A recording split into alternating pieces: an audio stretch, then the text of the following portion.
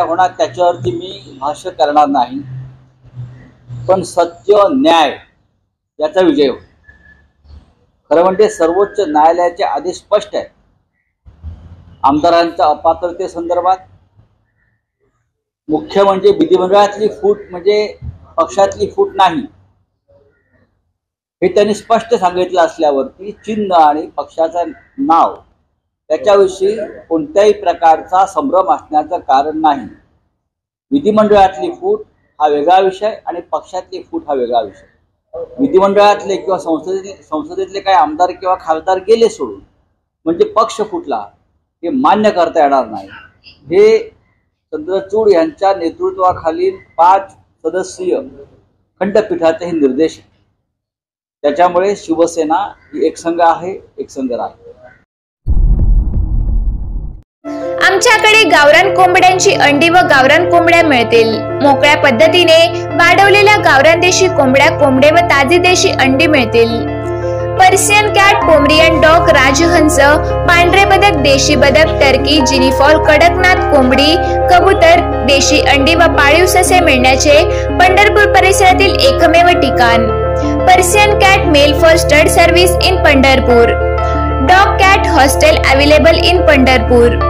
अधिक माहितीसाठी आजच संपर्क साधा. Ishwari animal sanctuary Pandharpur. Mobile number अठ्ठ्याण्णव साठ चाळीस सहासष्ट झिरो सात. अठ्ठ्याऐंशी तीस सत्याहत्तर अठरा झिरो सात. नक्कीच ना. जो वेळकाडूपणा चाललेला आहे हे खरं म्हणजे संविधान कायदा विधिमंडळाचे नियम याच्याशी केलेली बेमानी.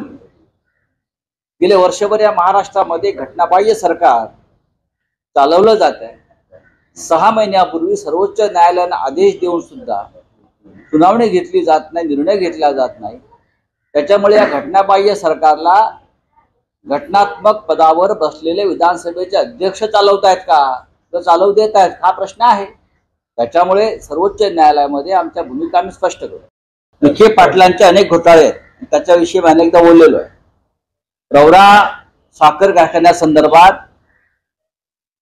जी जी- जी- जी बैठक झाली भागधारकांची त्याच्यामध्ये याच्यावर चर्चा झालेली आहे. आपण पाहिला असेल. आणि या संदर्भात मी वारंवार केंद्रीय तपास यंत्रणांना कळवलेलं आहे. राहुल कुल यांचा पाचशे कोटीचा घोटाळा विखे पाटलांचा साधारण दोनशे कोटीचा घोटाळा सरकार बरोबर असलेल्या अनेक साखर सम्राटांचे हजारो कोटीचे घोटाळे जरंडेश्वरचाही घोटाळा आहेच ते सगळे संचालक मंडळ मला भेटायला येत्या दोन दिवसामध्ये. त्या हायकोर्टात गेलेले आहेत. हे सगळे घोटाळे एकत्र करून आणि या सगळ्या घोटाळ्यांना पाठबळ मिळावं. त्यातून सुटका व्हावी म्हणून हे सगळे यांनी पक्षांतरे केली खुलासा मागून देखील खुलासा होत नाहीये या घोटाळ्या संदर्भात. होईल ना. दोन हजार चोवीस लांब नाहीये. जवळ आहे. केंद्रात आणि महाराष्ट्रामध्ये नक्की बदल होतील. तर खुलासे काय? पहा तुम्ही काय होतंय तर ते. रामदेव बाबा देखील म्हणतात येणाऱ्या दोन हजार चोवीस साली सनातन सनातन सनातन धर्म जो विरोधात बोलतो त्याला मोक्ष मिळेल.